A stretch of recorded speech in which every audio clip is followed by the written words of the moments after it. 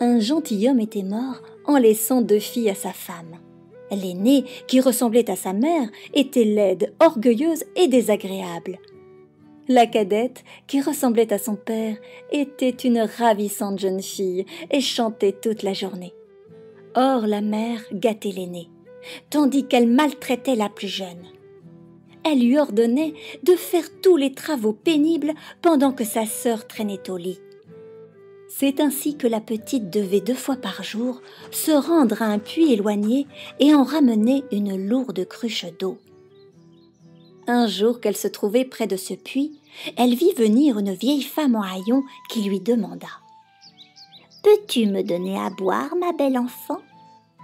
Oh oui, bien sûr, répondit la jeune fille en lui tendant sa cruche.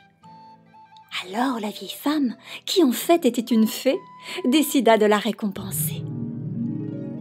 À chaque mot que tu prononceras, dit-elle, il en sortira une fleur ou une pierre précieuse de ta bouche.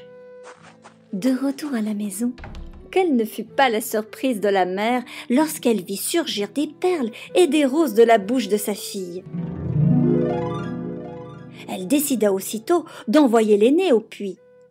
Et elle lui recommanda de donner gentiment à boire à une pauvre femme qui se présenterait.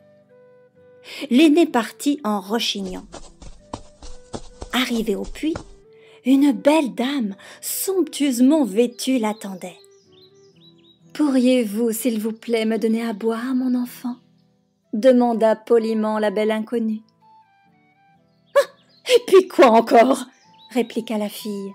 Ah non, je ne suis pas votre servante tout de même. La méchante fille, qui s'attendait à trouver une pauvre femme en haillons, n'avait pas reconnu la fée en cette belle dame. À chaque mot que tu prononceras, dit la fée courroucée, des crapauds et des grenouilles sortiront de ta bouche.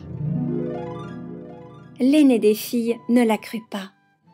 Mais comme elle ne voyait venir personne d'autre, elle rentra à la maison. Dès que sa mère l'aperçut, elle lui cria. Alors, ma fille, as-tu vu cette vieille femme Eh bien non, ma mère, commença l'aînée en crachant deux grenouilles et deux crapauds. Ce ne fut pas la peine de continuer. C'est la faute de ta sœur, cria la mère. Je vais la punir comme elle le mérite.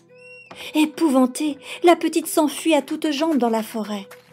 Enfin, elle s'arrêta, épuisée, et se mit à pleurer.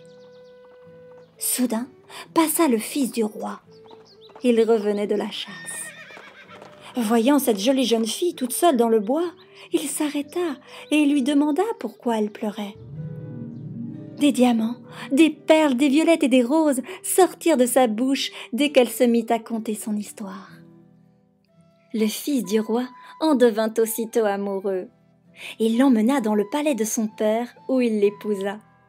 Tant de pierres précieuses valaient bien les richesses de n'importe quelle princesse.